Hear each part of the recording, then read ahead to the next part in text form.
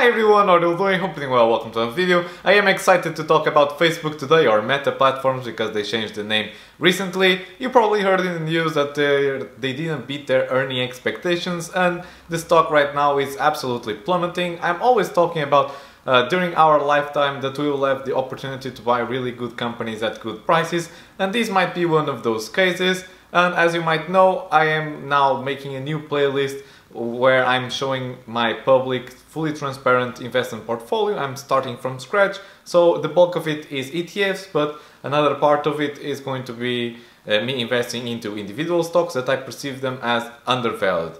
And one of those picks most likely is going to be Facebook, but if you haven't watched the video, uh, if I shows it or not, it depends. I always like to share my own fundamental analysis of companies that I do so that in a few years I can look back and understand why I was investing in these companies to begin with.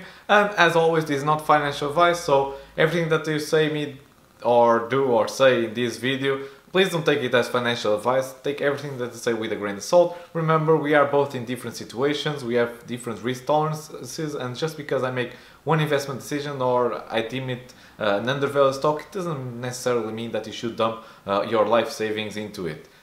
Having that said, let's jump into the laptop itself. And you can see here trading trading view right now it's oops advertising and um, you can see from the top uh, Facebook shares, and why is this? It's been down more or less 40%, and this is such a big, uh, large cap that is even influenced the S&P 500 with this uh, drop. It was not only Facebook, Netflix also dropped, PayPal also dropped, and other companies like this. And uh, Facebook is actually a company that I like financially speaking. You might not like the company by other motives, but let's just jump straight to my uh, Excel spreadsheet and you can see here that the revenue, you can see here my cursor, actually let me zoom in, from 2017 to 2021, uh, 2021 sorry, uh, the revenue has been absolutely exploding. The average um, growth is 30%. Uh, so you can see here this is crazy crazy growth. You can see also their net income margin is uh, on average 35% and as always in my analysis, I try to be as conservative as possible. Some people like to put some margin of safety. Sometimes I do that, but um, the approach that I have is to be conservative with my forecast and assumptions into the future. So you can see here that the revenue has been growing 35% uh, on average. And uh, for my normal case scenario, and if you're new here in this channel, I normally do a normal case scenario, a bull case, which is the optimistic case, and a bear case scenario, which is the pessimistic case. In my normal case, which is the one that we'll be uh, talking right now, it's 11% from 2023 to 2025 um, and 9% uh, from 2025 to 2029 and you can see here that historically we have numbers above um, uh, sorry uh, above uh, 30 or 20 at least and so I'm being I'm cutting their growth by half. And these expectations for 2022 and 2023 are more or less um, sorry actually I should have put here 2024 sorry. 2024 to 2026 and 2026 2027 okay. Okay now now now this is uh, correct sorry.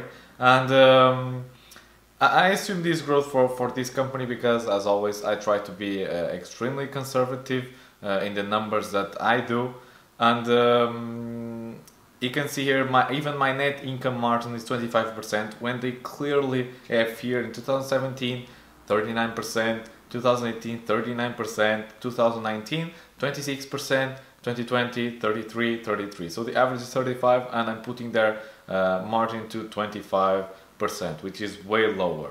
If we adjust this for a rate of return of 10%, I'm using 10% because that's the average for, for the S&P 500 and the bulk of my portfolio is an ETF that is mimicking the S&P 500. So if I'm investing into an individual stock, I'm taking more risk, but at least I want to have the same level of return or if the stock is under my valuation, it means that my rate of return will be uh, slightly higher for that company specifically. So the, the fair price is $255 and right now the company is at 2000 it fell from 300 more or less so let me just zoom in my computer is a bit slow So it was around 300ish and right now it's 237. So this is a big company, it's a really well-known name, even though they changed the name to Meta.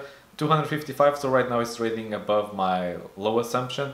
Of course, in my bull case scenario, I'm putting the revenue growth at 13 and 11%. Remember, their average for the past five years is 30%. And just because they've grown these in the past, that doesn't necessarily mean that they will grow in the future.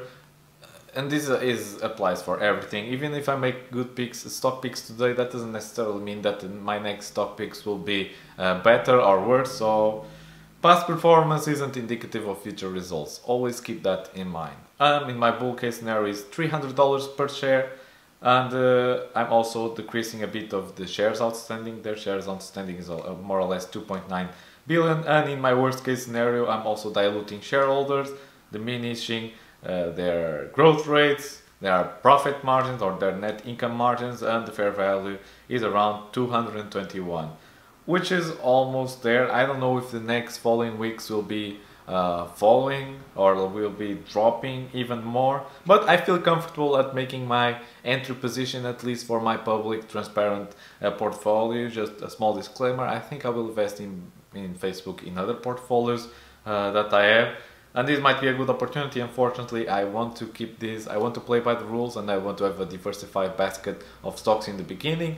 This is too still too early for me to go all in into one single stock even though I don't think you should. There are a few companies that I deem them as undervalued, but remember the foundation. And in this other part of my portfolio, those 25% that I allocate to other stocks, probably Facebook will be in one of them, unless the stock out of nowhere starts uh, a bullish trend and it goes like to 300 marks. Then at that case, I wouldn't feel uh, as inclined to buy this stock. Well, having that said, I hope you like these fundamental analysis. These are quick videos because I don't want my uh, other playlists to have super long, one hour long videos where I need to analyze multiple companies. If you have any questions, just leave them down below. This is just my public video log so that I can rewatch them in the future instead of just looking at some Excel, Excel spreadsheets, which is kind of boring. Don't forget to hit the like button subscribe, and I'll see you in the next video. Bye!